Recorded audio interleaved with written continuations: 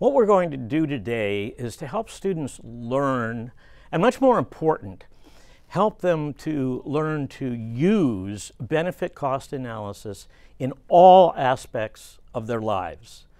In order to do that, we're going to investigate a very difficult economic problem, one that probably requires a PhD in finance, but we're going to see if we can't get through this without that kind of educational background.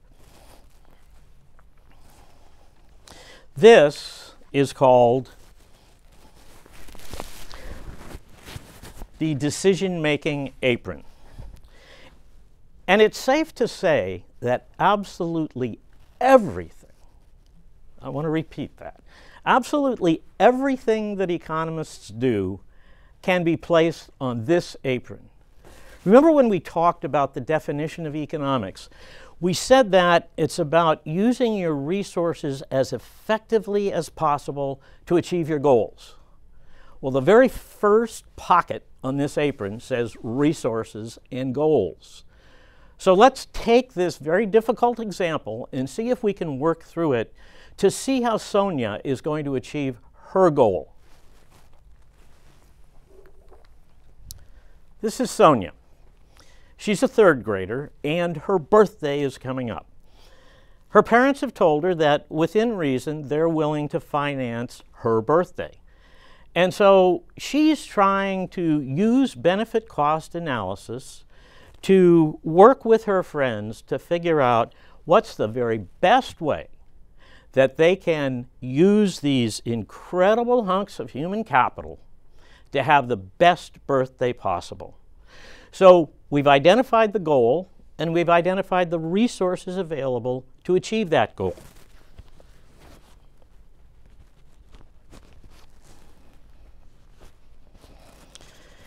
Now, they've narrowed this very difficult economic issue down to two alternatives. Sonia's a dinosaur nut. She's crazy about dinosaurs. She knows uh, Diplodocus and Brontosaurus and, of course, Tyrannosaurus rex. And there's a dinosaur museum not very far from her home. And so one of the alternatives that she has considered is a party at the Dinosaur Museum. Her parents have told her that uh, they'd be happy to take them, she, she and a few of her friends, to the museum. They've also said, we're happy to do a birthday at home. And so, another alternative under consideration is a birthday at home. So these folks have gone fairly well through the first couple of steps of benefit cost analysis. They've identified the goal and the resources available to achieve that goal, and they've identified two alternatives, both of which will help them achieve that goal. Now what they have to do is take a look at these two alternatives and consider the advantages and the disadvantages of them both. So in a class discussion, students would decide what is or what are the benefits of the dinosaur museum? And they might come up with something like this. They might say, well, first of all, she's a dinosaur nut. So this is going to be very exciting for Sonia. And her friends are sort of into dinosaurs too, so that's a good thing. Um, at the Dinosaur Museum, you can sometimes see, they have one of these moving dinosaurs that roars at people. That's a lot of fun too. So there'll be a little action involved. Um, they'll be able to get out of the house. Um, maybe that's it. There could be more. Now they want to look at the disadvantages of the Dinosaur Museum. The first one, and this is very important, is they can't bring any food into the Dinosaur Museum. So that means that the ice cream and cake is out. And this isn't either an or, by the way. Her parents have said you either go to the Dinosaur Museum or you come to the house, not both. So um, the ice cream and cake is out because you can't bring food into the dinosaur museum. They're going to have to be quiet, well behaved. They can't be messing around. That's not such a good thing. Um, and that might be it too. I mean, they, they might list many more advantages and many more disadvantages, but, but those are some that have come up in the past. So we've, we've analyzed the first alternative, which is the dinosaur museum. Now let's take a look at the party at home. One of the good things about the party at home is that they will, in fact, get ice cream and cake, and her dad makes the best birthday cake in town. So that's a tremendous advantage. Second, if they have a party at home, she can invite more friends. And more friends mean more presents. That's a tremendous advantage. Um, they be able to jump and run around and, uh, within reason, have a pretty good time. So those are advantages of, um, of the party at home. But there are some disadvantages.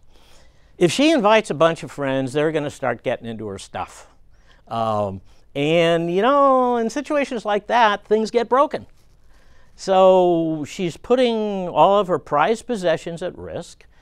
Um, once the party is over, she's going to have to help her parents clean up, and that's a pain. Uh, and again, uh, children might list more advantages and more disadvantages. So now what we've done is we've analyzed the two alternatives. What are the advantages and what are the disadvantages of both alternatives? After this general class discussion, we asked the class to vote. How many of you are for the Dinosaur Museum? And I have to tell you that usually the Dinosaur Museum doesn't get many votes. Um, how many of you are for the party at home? Let's assume that the majority decide they want Sonia to have her party at home. As soon as that decision is made, we now know that from our alternatives, one, the party at home, becomes the choice. So the choice is the alternative that's selected. It's the one they decided upon. Um, it's what they did. And so now the question is some people would say, as far as Sonia and her friends are concerned, this was free because her parents are paying the money cost. But was it free? What did they have to give up when they decided to have the party at home? The answer is pretty clear. They're not going to the dinosaur museum. So, what did they gain? They gained the party at home. What did they lose? They lost the dinosaur museum. The cost of the choice is the dinosaur museum. And this is why economists say, we don't say there's no such thing as a free lunch because your students may very well walk into the cafeteria and see a lot of people getting lunch and not paying any money for it. So we don't say that. We say there's no such choice as a free choice. And you know, there can be no argument. If you're selecting between two alternatives and you select one, you didn't get the other. So the opportunity that you gave up when you chose the party at home, the opportunity that Sonia and her friends gave up, was the Dinosaur Museum. And that's why economists call that opportunity cost. It's the opportunity given up when you select an alternative as your choice. All right, so that's Sonia, third grader. Let's take this to a middle school level.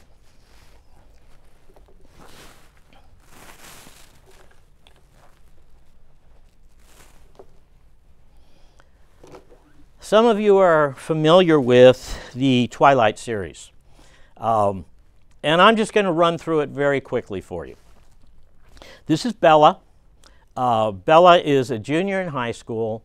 Uh, Bella is an incredible bundle of human capital. She's very, very talented in many different ways. Um, in some ways, she's not so talented. Uh, she's not very coordinated. She tends to trip and fall over herself a lot, but she's an incredible bundle of human capital. Uh, Bella is trying to decide, her goal is to um, choose a man to be happy with for the rest of her life. And she has narrowed the alternatives to two. The first is Jacob.